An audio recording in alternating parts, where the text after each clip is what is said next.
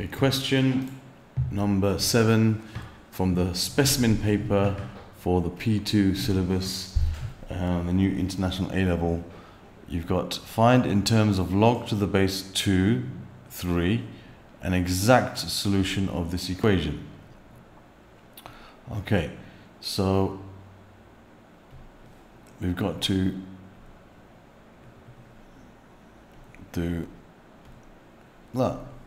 So, what we can do here, they want it in terms of log to the base 2.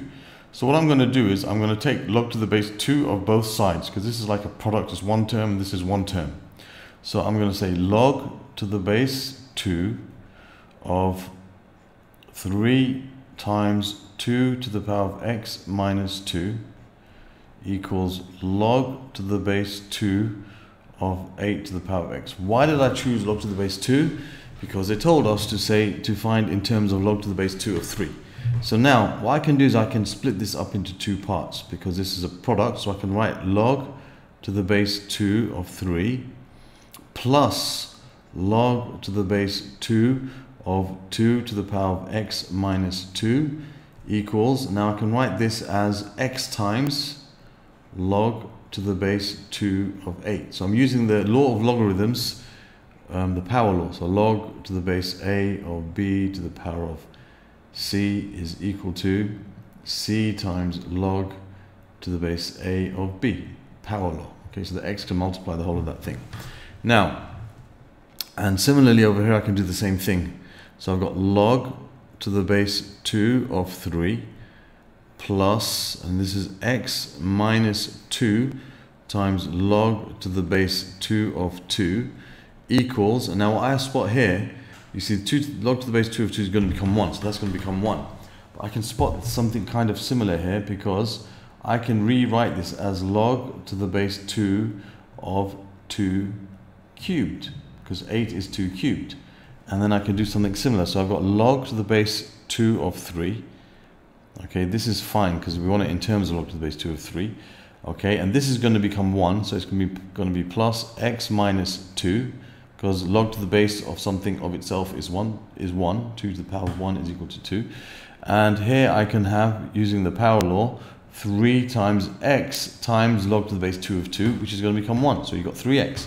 So you want to find in terms of log 3 an exact solution. So uh, uh basically we're going to have x equal something with log 2 to the log to the base 2 of 3 in the answer. So we can see this is you know starting to form here. So I can subtract x from both sides. So I have log to the base 2 3 minus 2 is equal to 3 minus 3x minus 1 uh, x which is 2x.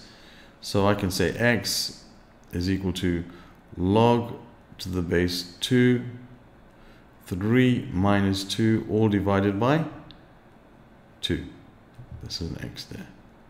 Okay, that divided by 2. And there we have the answer to 7 part 1. And then it says 7 part 2, it says solve using algebra this log equation. So they're both to the same base. So I can combine these two terms. But be before combining them, I must uh, raise this to the power of 2 using the power law. Okay, because I can't combine them until it just says log, not something times log. So I've got log to the base 5 of 2y plus 1 um, to the power of 2 minus log to the base 5 of 2 minus y equals 1. So now I can combine them together. So I have log to the base 5 and in brackets I'm going to have 2y plus 1 squared. I'm using the subtraction law so it's going to become a division over 2 minus y is equal to 1. So I know 5 to the power of 1 is equal to all of this. So I can say 2y plus 1 all squared over 2 minus y is equal to 5 times 5 to the power of 1, sorry, which is 5.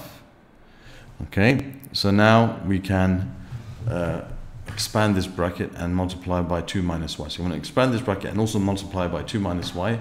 So you'll end up with 4y squared plus 2 times 2y times 1, which is plus 4y plus 1. That's what happens when you expand that bracket. You're going to get 2y, 4y squared plus 2y plus 2y plus 1.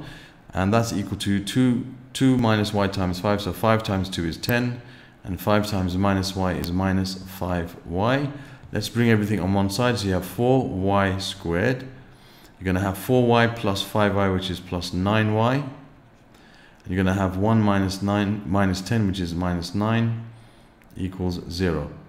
Okay, so let's see if we can solve this equation. I'm going to just use this space here. Um, I'm going to use my window method. Let's see if this works out.